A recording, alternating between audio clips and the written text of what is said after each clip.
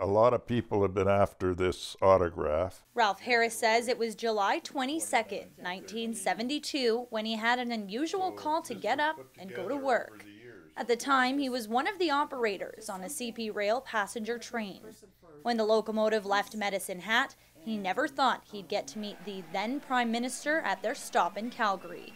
Out of the private coach, Prime Minister Pierre Trudeau got out. Ralph says he was the only person who security introduced to Margaret Trudeau at the train station that day.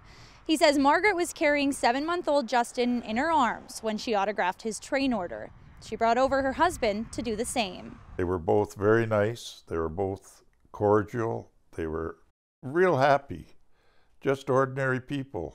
Ralph's wife, Irene, says nearly three years ago she heard Justin Trudeau was making a campaign stop in Lethbridge.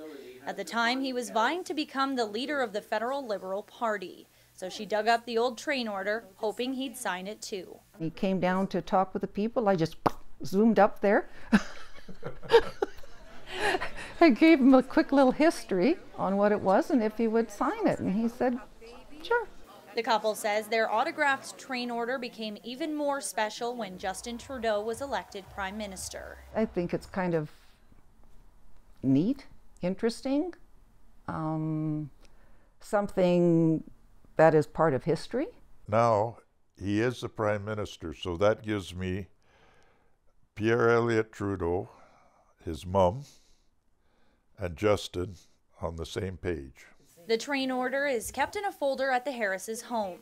While Irene says she's jokingly thought about selling it, Ralph wants to keep it in the family. I've hung on to that that train order all these years. It's preserved, and I guess uh, I'll pass it on to my children.